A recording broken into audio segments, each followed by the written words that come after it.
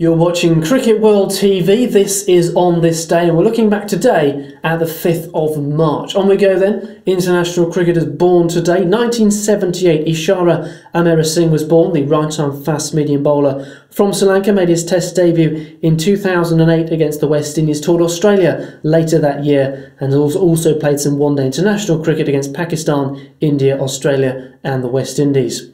On to centuries scored on this day. Wasim Jaffer in 2006 made 100 against England, the first test in Nagpur eventually helped India save the game because it was drawn.